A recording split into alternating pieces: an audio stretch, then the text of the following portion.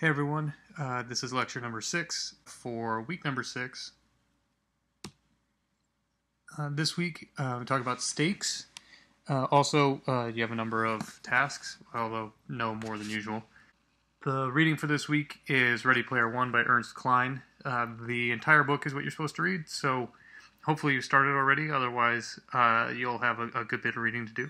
A a separate writing assignment is going to be writing reflection, and I'll talk about that a little bit. It's not something you're going to turn in, uh, so don't worry about that.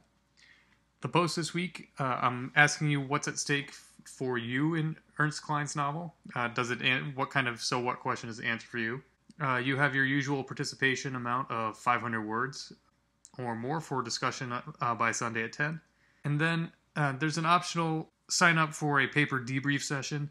I know I didn't get to talk to everybody uh, last week while they were writing their uh, between their first and their second drafts of their papers. So I wanted to give folks an opportunity to debrief about their paper. And so uh, I'm asking you to please sign up by Wednesday. Uh, just again, send me an email and uh, tell me what day and what time you want to chat. And we can talk about uh, how your paper went and, and walk through the feedback on your second draft. There will be another opportunity for a uh, online uh, real time conference for the second paper. Uh, I just wanted to make sure that uh, everyone got a chance to talk with me about uh, this one, the comparison paper. So uh, if you didn't get a chance to last week, or if, even if you did, if you want to talk about how things went, just send me an email and tell me when you want to, to talk about that. Uh, finally, uh, next week uh, we're playing Gone Home, and that's going to be our last text for the course hopefully uh, you got my message about Gone Home being on sale. Uh, it may also be on sale uh, this week. It's the Ste- it's the Steam Summer Sale right now, so there are a bunch of games on sale. They change the sales every day. It, it probably has some percentage of the price off this week too if you didn't happen to get it earlier. Uh, but that's next week's uh, text. Gone Home. So the writing reflection this is something I, I typically ask uh, composition students to do uh, after they finish a large paper. Uh, take a minute to think about how things went and how you want to improve in the future. So there are really only three questions to this. Uh, what part of the paper are you most proud of? Or what, what aspect of the paper are you pleased with? Uh, second, what could have used more work? If you had all the time in the world, what would you have gone back to work on? And then, what do you plan to improve for next time? What is your focus going to be next time? So what I'd like you to do, uh, again, this is not going to be something that you turn in. So this is just for you and your notes to yourself on how to improve. So I've got these questions for you up on Google Docs. Uh, so if you go there, you'll be able to cut and paste these questions into a new document in your favorite word processor. Uh, and just take a couple sentences and respond to each of them uh, in time. Again, this is just for you. This is a way to improve and a way to think about and be conscious of your writing practice. If you don't do it, I won't know, but I'm telling you, it, it will be helpful. And then when we get to the next paper, the critical paper, uh, I'll ask you to go back and look at what you wrote. Uh, and so hopefully it'll help you focus and guide and, and be a little bit more purposeful with your writing. All right, stakes. So this is the focus of our writing instruction for this week. Uh, the stakes are the answers to the so what question. Uh, essentially, they're what's at risk in any text. And this is going to be both the primary text that you're reading, the secondary criticism about that text, your response to it, all those types of things. All of them have some sort of uh, answer to the so what question. Uh, you may even see me write occasionally on your own papers, uh, so what in the margins, where it's not evident what's at stake and or how your comments are responding to something that's at stake. So stakes tend to have different circles of relevance, and these often overlap or intersect, or you can find elements that, that trace across multiple uh, levels here. The first one and the most obvious one is, is the author. So when the author is writing this text, what's at stake for them or what's at risk for them? Uh, so for example, when you are writing a paper for this class, one of the things that's at stake for you is a grade. Uh, for an author of a novel, it, it may be uh, financial security, that's one thing, but it might also be something personal. They're writing to process uh, some aspect of culture that they're engaged with. Uh, this usually when people are when uh, secondary criticism is dealing with what's at stake for an author, you're talking about some kind of uh, biographical issue, and that's bound up in the text. Second one here is the the textual thing. So basically, what's at stake for the text itself. Often, this is going to be uh, some kind of uh, formal compositional issue. When um, you're if you're uh, reading something like Sense and Sensibility, uh, who Elinor marries uh, has various stakes for how the plot plays out, uh, things like that. So, uh, where some a, plot event or some use of language has is somehow important or meaningful within the structure of the, the text that you're reading the stakes for an audience. This is why it's meaningful to you as a reader. Uh, often this is something personal, so maybe you just really like Fight Club, and so it's uh, the type of irreverent language in it is it has stakes for you or something you identify with. This this can be anything that, that the reader finds personal. It, it finds personally meaningful, or is a so what for them, or why they find it important. Uh, the final circle of relevance here is a social cultural. So basically, why is this meaningful in a larger sense outside of uh, the principal actors involved in the, the exchange of the reading, right? So you have the author who makes the text that's then read by the audience, but then there are larger issues involved outside of that sort of, that uh, uh, triangulation, right? So these can be historical. So a text can be meaningful because it was the first to have done something or uh, it had a particular influence uh, at the time it was written, uh, or it may be particularly useful now. So, for example, uh, Ayn Rand's books have become relevant again, uh, particularly because uh, they espouse a kind of a, a, kind of philosophy that's very attractive to a freelance to a laissez-faire capitalism that's that's popular these days. But it, so it would have had stakes when it first came out for its own historical context, and now has new stakes in the present context. So historical. Uh, a text may have philosophical stakes. Uh, it may be addressing large philosophical questions about the nature of life and reality and uh, things like that. Uh, you may think of something like Candide, if you've ever read Candide, which is which is a, a very clearly philosophical novel. Uh, it may have political stakes. You might think about uh, if you've ever taken a class from Dr. Uh, Sebastian about where he talks about Dante's Inferno or the Canterbury Tales, where uh, the writing has very clear political investments, or you know something that um, maybe a class from Dr. Murphy talking about modern slave narratives and the kind of political stakes that are bound up in these first-person testimonials.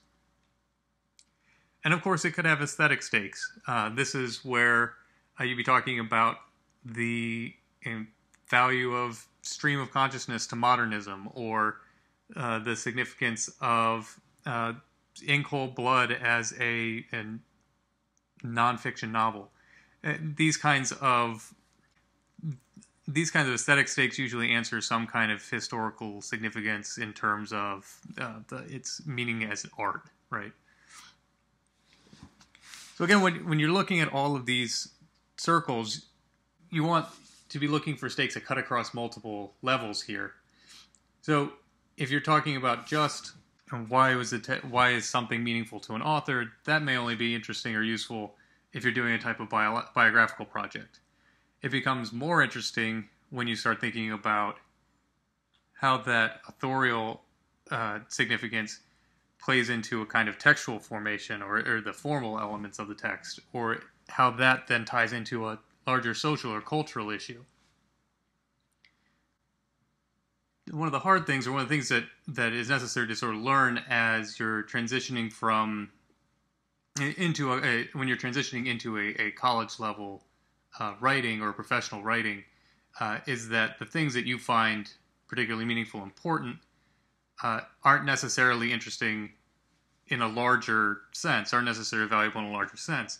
And so, it, for example, uh, if you find uh, Fight Club particularly cool or something like that, uh, that may only be interesting to other people you know. Uh, it may not have larger stakes beyond that. Or whether or not you get a good grade on your analysis of uh, Ready Player One, it's really only meaningful to you and maybe your family, or, or it is a pretty small circle of meaning, a circle of relevance. And so the goal or what you really want to be doing is trying to find something that you're interested in and you're personally invested in, something that has stakes for you and the types of intellectual questions that, that really drive your inquiry. And then be able to tie that kind of personal investment into some larger uh, questions that, that are getting into usually this kind of social, uh, social, historical, cultural uh, range. And so often, what we're doing in uh, literature classes is going from some type of formal textual observation uh, to a kind of social cultural uh, level of social or cultural stakes uh, that we find interesting or, or, important or valuable. So you want to think these of these things kind of overlapping these stakes as as overlapping circles of relevance or importance. Uh, when you're doing your close readings, when you're finding your observations, we've done a lot of work uh, to generate observations are kind of brainstorming, uh, or mind mapping. Those are really generative, uh, uh generative activities uh, where you're free writing and just letting ideas come through. And then what do you do with all these ideas? you have to take them and shape them from just a simple observation of, oh, isn't it neat that this happened, to become relevant to these larger questions and, and, issues of stakes. So as we move on to the stakes in Ready Player One, which is our task for this week, uh, what I want you to I want you to ignore authorial stakes right now. There's a certain kind of scholarship that will be invested in why the author does such and such, or why something might be meaningful for the author, or how certain events in their lives influence what they made. Uh, that's not the kind of scholarship we're, we're, focusing on right now. It requires the kind of research we're not going to do. Uh, so your goal is ready to move from the level of observation uh, that's practice that we've been working on so far. So now that we kind of have this down, where you're observing things about the text, structure, characterization, and so on, and then be able to move to the next level. Why it's particularly interesting uh, that characters are formed the way they are. Why the particular arrangement of language or the imagery that's being used is here. Uh, how it ties the kind of textual stakes or these these textual moments to uh, the social cultural sphere. And again, it should be driven by your interests, the things that, that have stakes for you. So, just looking through the first section of uh, Ready Player One, the, the very first area, 000, uh, 0000, uh, you're going to notice a number of things, uh, larger sociocultural issues uh, that are uh, significant themes or structuring themes in uh, in just this first section. Uh, number one of them is going to be class, for example. Uh, you have uh, Wade as the poor kid from the stacks, engaging in Halliday's game. You have questions of high versus low culture.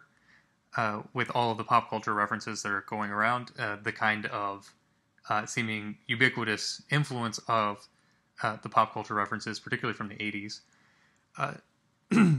Uh, so the significance and influence of mass media, uh, where uh, you have Hal- Halliday uh, composing his video will using snippets from 80s culture obviously if we're dealing with the virtual reality situation there's going to be questions of real versus virtual here uh, what's the influence of the virtual world on the real world and vice versa. Uh, there's going to be a question about the relationship to other literatures. Uh, so, what is the aesthetic significance of uh, this book in relation to other ones? For example, like Neuromancer and Snow Crash. Probably, unless you know uh, the genre of sci-fi and, and cyberpunk and the kind of things that this novel's in conversation with, you probably want to leave that one alone too. again, that's the kind of stakes that you'll get into once you you build a kind of body of knowledge and you're you're aware of uh, uh, a tradition, but not not something you really need to worry about now. And there are any number of others that are going to emerge over the course of the novel. That, for example, uh, gender is certainly going to be an issue. It's almost always an issue in, in novels. uh, and, and any many other kinds of things, technology and culture, and so on. So the key here is to find something that stands out to you. What is it that that really strikes you or you find interesting? And then ask yourself why you think it is important, why you think it is standing out. What kind of social cultural issues is it in conversation with or what's the so so in other words, what's the answer to the so what question? So your post for this week is to answer the question, what's at stake for you in Cline's novel? Again, we're not looking for like what is the meaning of the book or anything like that. Just when you start reading this book uh, and you're getting into it, and I'm hoping you like it because this is easier if you like it. but uh, as you're getting into it, ask yourself what is it that's in it for you? What is it that is meaningful? What kinds of issues is it engaging with that you uh, think are uh, significant or, or, answer a so what question for you? Uh, so if I was going to ask you, so what about this book? What is it that you would answer? So that's your post for this week. What is your answer to the so what question of, of Cline's novel? So again, your task this week: read all of Ready Player One. Uh, write a post about what's at stake for you in this novel. Make sure you can contribute your 500 words or more discussion by Sunday at 10 p.m. Uh, if you would like to do a paper debrief uh, for your comparison paper, uh, please send me an email by Wednesday. And as always, if you have questions, you can email me or post on their support on uh, Google uh, that's it for this week. Uh, let me know if you have any issues or questions, and I will see you in the next video.